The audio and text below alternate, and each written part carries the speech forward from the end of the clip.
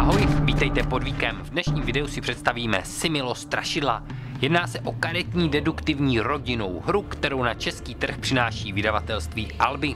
Jedná se v podstatě už o šestý díl, který z této řady vychází v češtině. No a kromě strašidel tu máme zvířata, safari, historii, pohádky a báje. No a pokud máte více z těchto her, tak je v podstatě můžete libovolně kombinovat a do jakékoliv partie zařadit dvě krabičky. No a pak je využíváte tím způsobem, že pomocí jednoho balíku karet eh, napovídáte a v druhém balíku karet podle těch nápověd hledáte onu utajovanou postavu. Tím se dostáváme k tomu, že naším úkolem bude napovědět svým spoluhráčům tak, aby poznali přesně jednu postavu, která nám byla na začátku určená nějakým losem. Similo je hra určená pro dva a víc hráčů s doporučeným věkem 7+, plus a jedna herní partie by nám měla zabrat nějakých 10 minutek, takže by mě to měla být opravdu rychlovka.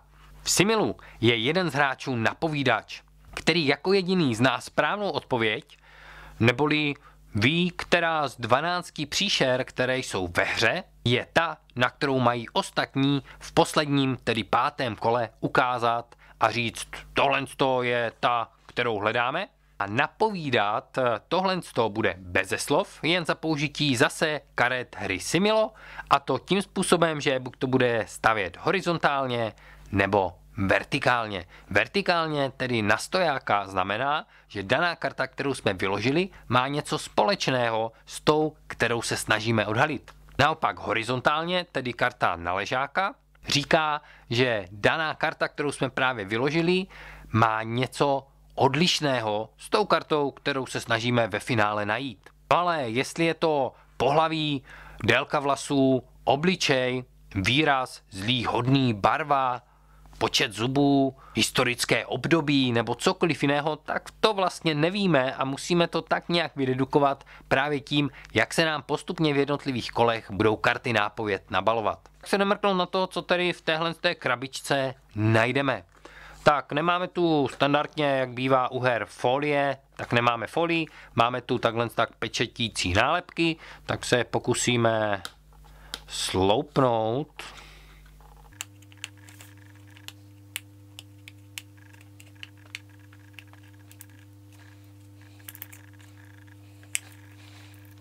První by byla, teď ještě jednu.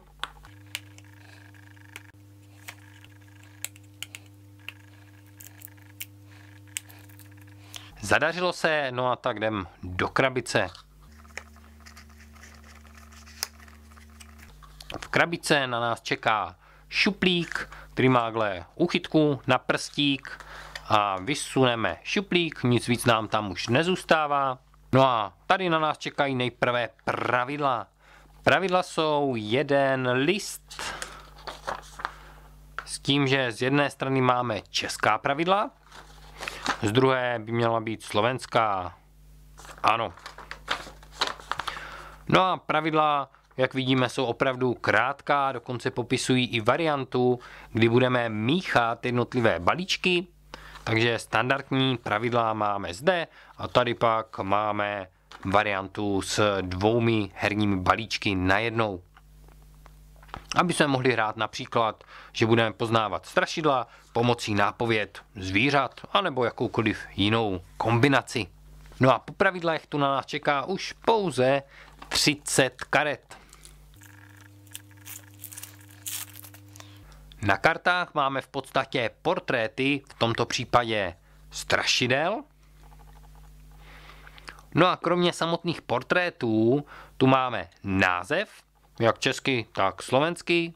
No a následně nějaká informace o dané postavě, kdyby jsme si nebyli vlastně jistí, kdo pak to je, tak se to dozvíme právě tady na řádku, zase česky i slovensky. Takže tady máme zlou čarodejnici. No a jdeme se mrknout tedy na další postavy, které tu najdeme. Mumie, upír, čert, vlkodlák, kutulu, bubák, duch, Banshee, tak to v podstatě, hele, nevím, kdo pak to je. Je to někdo z irského folkloru. Toulající se duch ženy, jejíž neutuchající kvílení zvěstuje jistou smrt. Aha, tak i něco málo naučného, tak známe Banshee a jdeme dál. Zombie, prokletá panenka, strašák, chrlič, démon, šotek, zlý klaun, kostlivec, smrťka, smrťák, viditelný muž, mimozemšťan, zabiják, Frankensteinovo monstrum, oni, bezhlavý jezdec, Yeti, Hůl, Jurej, šílený vědec, kultista, netvor z bažin a to máme vše. Takže to jsou všechny strašidla, která najdeme ve hře Similo strašidla. Ať se jedná o strašidla, tak mají většinou velmi roztomilé vzezření, takže nebál bych se, že se u něho úplně děti budou bát. Spíš nevím, jak moc malé děti budou většinu z těch eh, příšer znát, ale asi, asi jo. Proč by neznali, že jo? Takže tak, eh, jak pak se to teda hraje?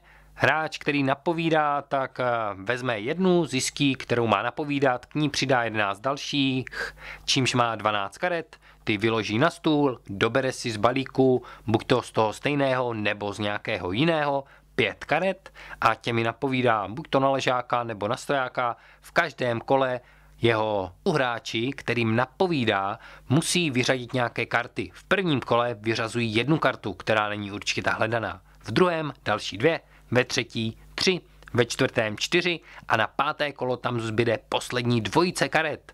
A z té poslední dvojice právě musí poznat, kdo je a kdo není ten, koho hledáte.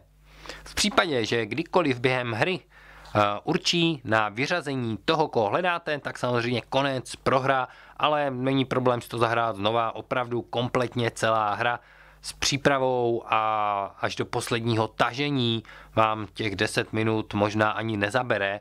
Maximálně těch 10 minutek delší to není.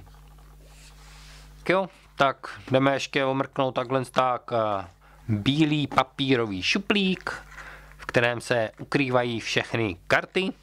A to je pro tentokrát vše. Já se s vámi tímto loučím, mějte se krásně, hrajte hry, sledujte podvíkem a někdy příště u dalšího videa. Ahoj!